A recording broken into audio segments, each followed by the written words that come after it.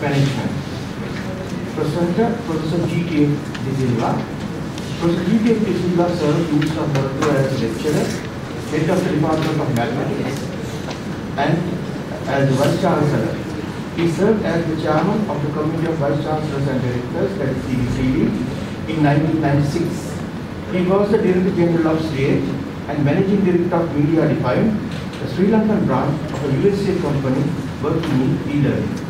He hold BIC and MPhil in Mathematics and Computing, uh, BPC from Tour, MBCS, C Engineering, and MBI. Currently, he is semi-retired and spent his time in few academic-related activities and writing books on mathematics, uh, uh, detective fiction, and children's stories.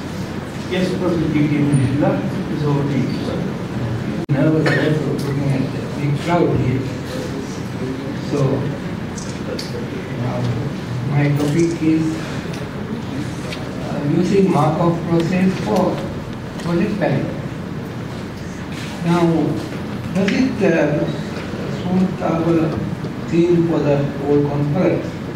Is uh, integrating professionalism for nation building. So where does uh, project management come? Where does this Markov case come? That's the question, right? Now, uh, thing is, for uh, for development of a nation, we need a lot of projects. Especially Sri Lanka is now in the, in the foreground of getting a lot of projects. Not all of them are construction, but there are various other forms of uh, projects. And I can tell you with my experience, both in the university system and KDU, KDU is the strongest people population. I think you should cheer this KDU uh, staff. I have never seen uh, so nicely, so well projects are being handled. This building was completed in one year. The next building, the engineering faculty building with the Air Force with construction, completed in one year. If the university system did this, it would have taken three years. Now, not all, all projects are construction. And I said, for national building, we must have uh, projects completed in time. And this itself, this uh, conference is a very big project.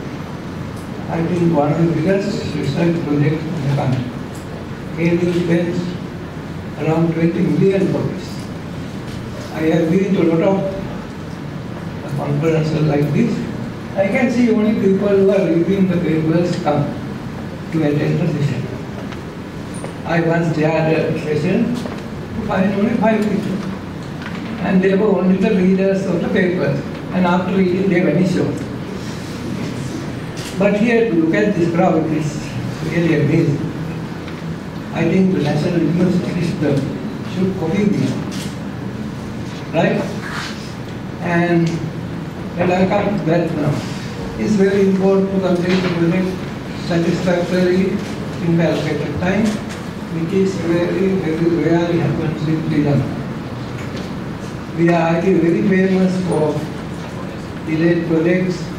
I don't have to tell you the repercussion. People get frustrated. The workers, the people working get frustrated. So there should be methods for uh, condition is in time and in good quality. Now we all know, I mean, I'm sure all of you know, the critical path method is very confused. That is to identify the critical activities, that those activities which can be used. But is that enough? Now, trying to push uh, your uh, critical activities will that will the normal common sense help? That's what is happening in Sri Lanka today. People are very smart but they try to use Bolivia, common sense, and try to do this. We have to use our quantitative techniques and also our modern scientific methods. So, one thing is to use this uh, Person Markov uh, chain. It is a stochastic process. Uh, you can see a little light up. Uh, is best known for stochastic process. Uh, so let us see how this can be coupled to expedite our work. So this method uh, works on probability. It constructs uh, something called a stochastic matrix A. It is, uh, I will show you how it is. So it uses the earlier information and says it act as a matrix. And if you know today's uh, the status of the project, then it is easy to, then it tries to uh, calculate the probabilities of various states for the given time. So let us see how we can do this for a, for a, a project. So now, uh, Chairman told that we work, both of us, my associate both in an American firm. And at the end of every day, they had to, we had to give the uh, thing called Scrum. Scrum, where does the Scrum word come from? It comes from Rugger.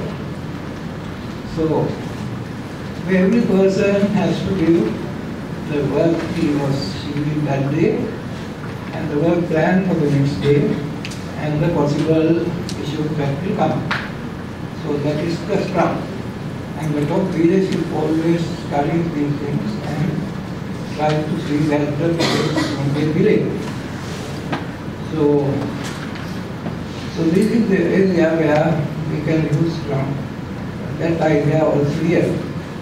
So we have thing called transitional probabilities. For simple situation, let us say uh, we take daily basis. It need not be daily, but can be for a week or so, for a big project. Maybe every week you have to study the status. So every week you are given allocated work to be done by the company, whatever, and at the end of the day or week, if that there's a delay, we can call it D. Status D. If the delay is fairly moderate, then you can call it M. But if there is no delay, then you can call it T. So let us define these three states, state, states of the earth as delay moderate delay M, or moderate T. So we have to look at the pattern for the last few days or periods. Project. So let me construct something called a transition probability graph.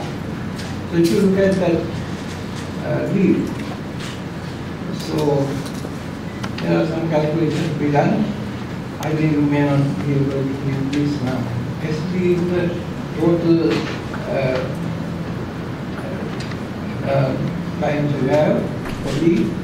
Then NDB is the NDM is the number of days or periods that activity has goes from D to N. So you have calculate the probability from D to M as the DM and DM upon SD.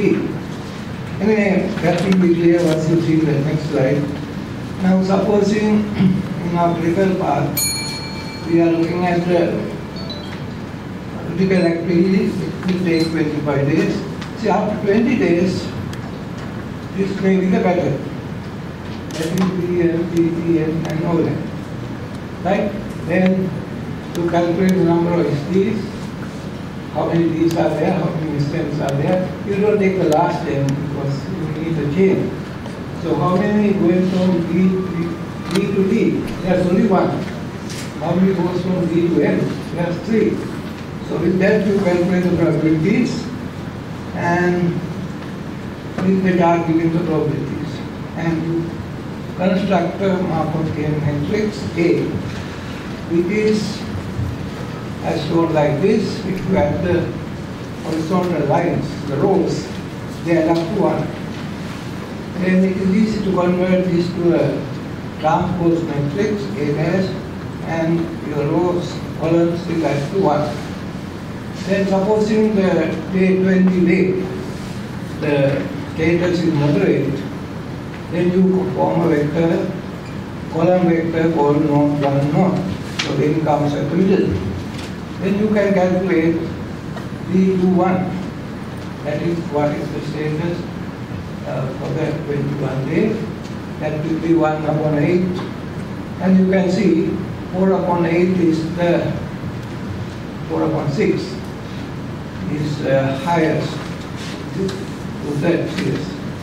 So that might be 21st day, it may be uh, in time.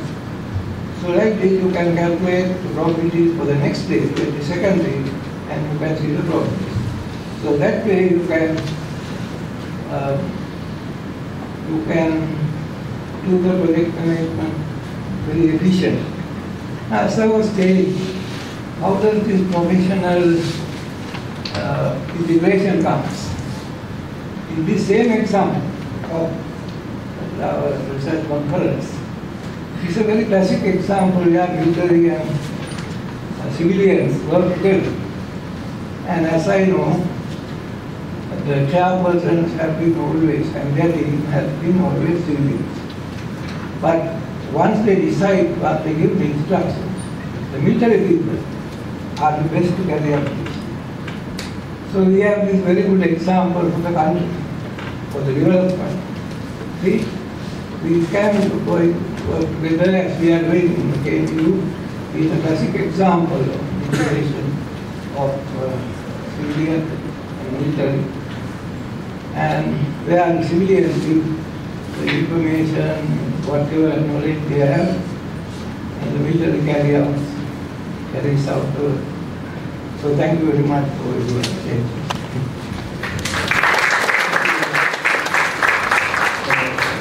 Has been